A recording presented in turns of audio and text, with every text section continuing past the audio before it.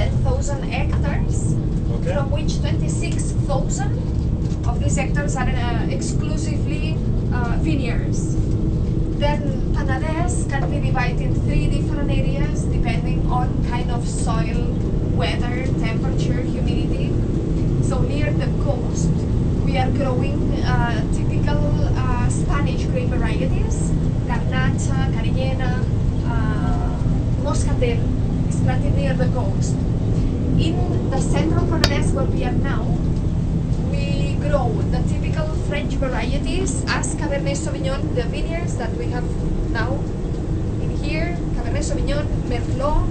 We have the typical Spanish grape varieties, uh, not the Spanish, the Catalan, uh, Macabeo, Xarel·lo, and Tempranillo. And, uh,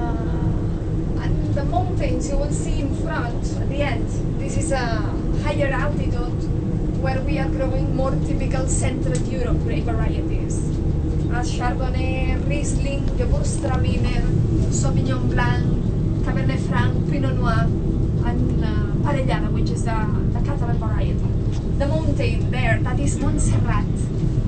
Montserrat is the is a famous mountain in Catalonia. So a lot of different grape varieties with uh, different points of maturation. So this means that the harvest will be really long.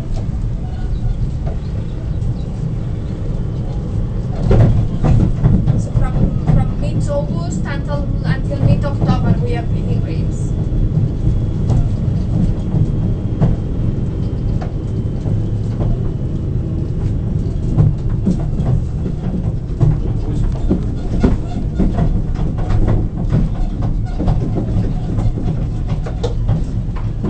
This